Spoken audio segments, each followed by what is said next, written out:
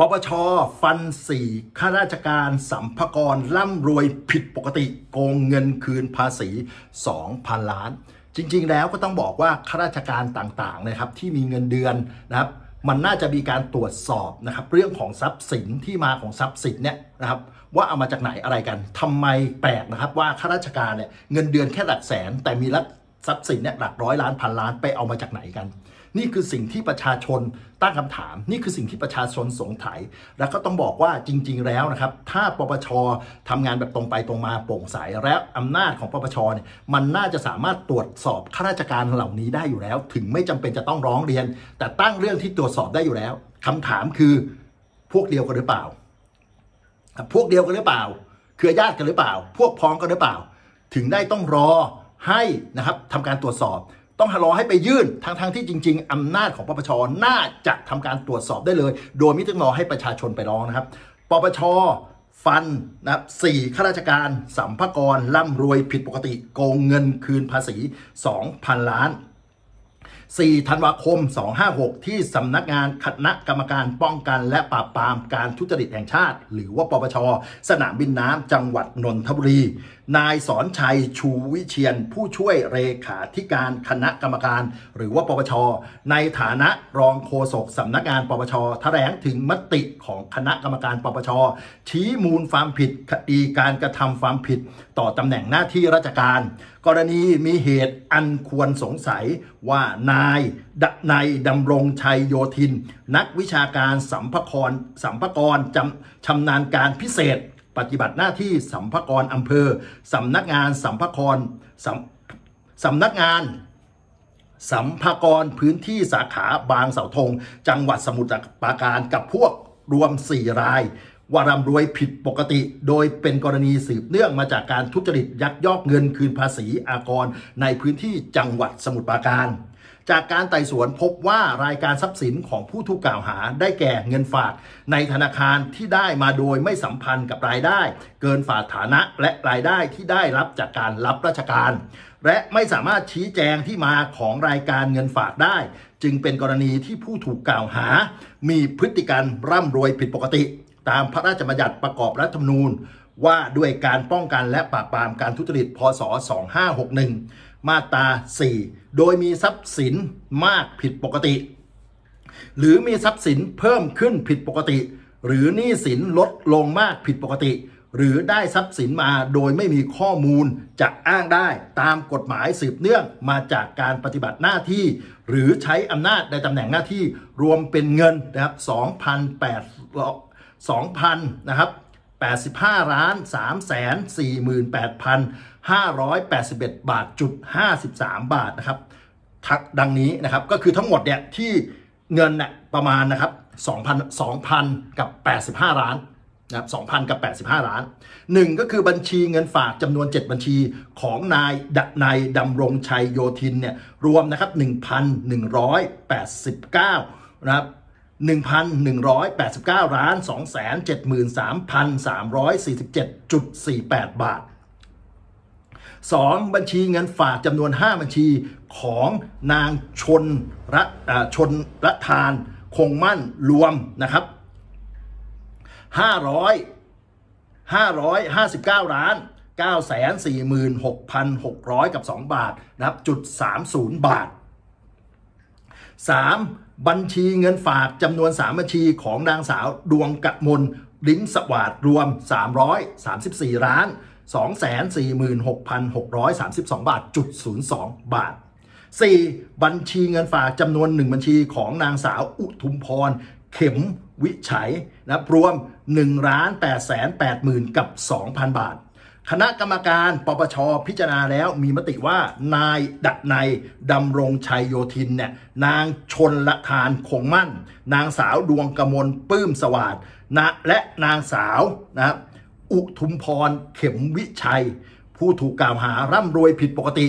โดยมีทรัพย์สินมากผิดปกติ หรือมีทรัพย์สินเพิ่มขึ้นมากผิดปกติ หรือได้ทรัพย์สินมาโดยไม่มีมูล อันจะอ้างได้ตามกฎหมายสืบเนื่องมาจากการปฏิบัติตามหน้าที่ หรือใช้อำนาจในตำแหน่งหน้าที่เป็นวงเงินจำนวน85 ล้านบาท 348,581.53 บาท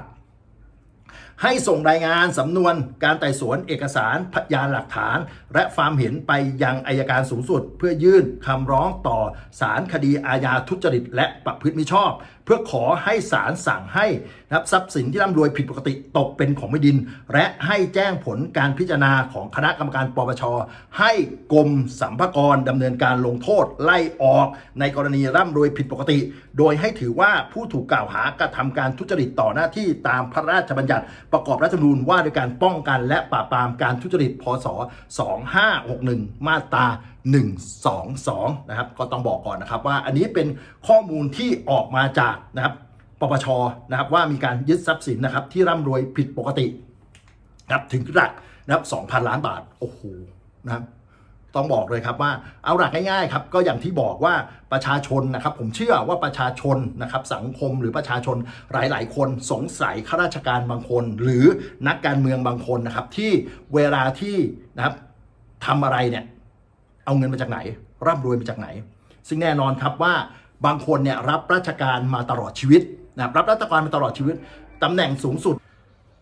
และนะครับถ้าหน่วยงานปปชเองเนี่ยนะครับพยายามที่จะทำหน้าที่ของปปชให้ดีที่สุดในการตรวจสอบป้องกันและปราบปรามนะครับ เรื่องของการทุจริตตามชื่อนะครับของหน่วยงานองค์กรอิสระเนี่ยนะครับ ก็ต้องไปตรวจสอบนะครับ สอดส่องดูแลไม่ว่าจะเป็นข้าราชการนักการเมืองหรือใครก็แล้วแต่ที่มีทรัพย์สินร่ำรวยผิดผิดปกติเนี่ยต้องให้เรียกมาชี้แจงเรียกมาชี้แจงเรียกมาชี้แจง เพราะอะไรครับ มันคือก็เห็นบอกว่าป้องกันและปราบปราม เพราะฉะนั้นคำว่าป้องกันเนี่ยเราก็สามารถที่จะทำได้อยู่แล้วหรือเปล่า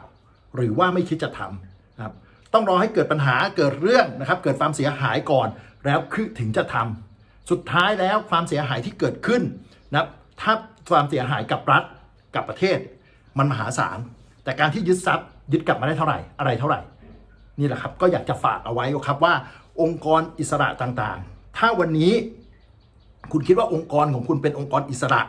ที่ทำงานตรงไปตรงมาทำงานเพื่อประเทศชาติทำงานเพื่อประชาชน ไม่เห็นแก่ผลประโยชน์ของใครกลุ่มใดกลุ่มหนึ่ง หรือของพวกพ้องหรือของใครก็แล้วแต่ ก็อยากให้ปปชแสดงผลงานให้เต็มที่มากกว่านี้นะครับ หลาย ๆ อย่างที่ออกมาแม้กระทั่งเรื่องที่ว่าวันนี้เรื่องของนาฬิกาของพลเอกประวิตยวงสุวรรณในเมื่อทางปปชทำการตรวจสอบแล้วนะครับว่าเอ๊ะนาฬิกาเนี้ยมันมันเป็นนาฬิกายืมเพื่อนมาทำไมถึงไม่กล้าเปิดเผยข้อมูลให้กับคุณวีระ และที่สำคัญวันนี้นะครับปปชเป็นหน่วยงานที่จะไปตรวจสอบคนอื่นเขา แต่ปปชกลับไม่โปร่งใสไม่ชัดเจนนะครับ ทำงานไม่ได้ตรงไปตรงมาและที่สำคัญนะครับ มีคำสั่งจากศาลปกครองสูงสุด สั่งให้ปปชเนี่ยเปิดเผยข้อมูลนะครับที่อ่าไต่สวนเรื่องของนาฬิกาของป้อมเนี่ยให้กับคุณวีระถ้าวันนี้ปปชโปร่งใสชัดเจนตรงไปตรงมาทำไมปปชถึงไม่ยอมเปิดเผยข้อมูลนี้ให้กับคุณวีระปปช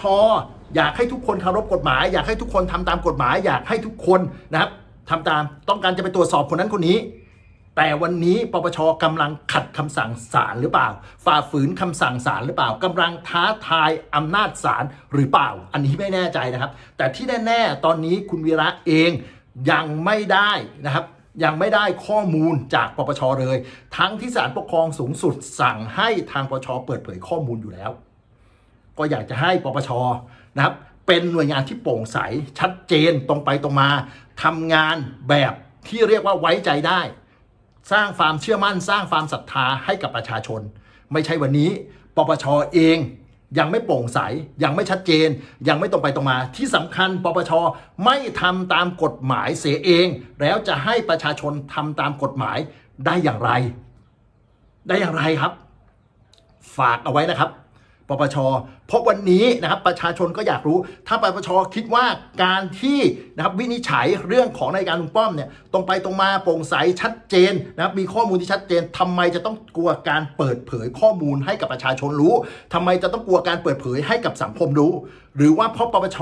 กำลังช่วยกันปกปิดใครหรือเปล่า ปกป้องใครหรือเปล่า ช่วยใครกระทำความผิดหรือเปล่า หรือปปชตั้งขึ้นมาเนี่ยเพื่ออำนวยความสะดวกให้กับ พวกพ้องของตัวเองหรือเปล่า หรืออำนวยความสะดวกให้กับใครบางพวกบางกลุ่มหรือเปล่า ประชาชนตั้งคำถามครับ เพราะฉะนั้นวันนี้นะครับทางทางปปชเองต้องออกมาครับ แสดงความบริสุทธิ์ใจ แสดงความโปร่งใสและชัดเจนตรงไปตรงมา วันนี้ประชาชนก็ยังรอนะครับ ว่าเมื่อไหร่ปปชจะเปิดเผยข้อมูล เกี่ยวกับนาฬิกาลุงป้อมเนี่ยให้กับคุณวีระเสียทีหนึ่งศาลก็สั่งมาแล้ว นะครับตอนนี้รู้สึกว่าคุณวีระเองก็ไปดำเนินการกับปปชนะครับและถ้าถามว่าวันนี้ถ้าศาลสั่งปรับนะครับกรมบังคับคดีสั่งปรับคำถามคือเงินค่าปรับเป็นเงินของใคร ก็เป็นเงินมาจากภาษีประชาชน ปรับเงินรัฐเข้ารัฐเองปปชถึงได้ไม่กลัวการเสียค่าปรับหรือเปล่า นี่คือคำถามที่ตั้งเอาไว้อีกอย่างหนึ่ง ว่าวันนี้ที่ปปชกล้าขัดคำสั่งศาลและไม่กลัวการจะเสียค่าปรับ เพราะถ้าเสียค่าปรับปปชก็ไม่ได้เสียหรือเปล่า ก็เอาเงินของประชาชน ภาษีของประชาชนงบประมาณเนี่ยไปเสีย ปปชมีอำนาจขนาดนั้นเลยครับ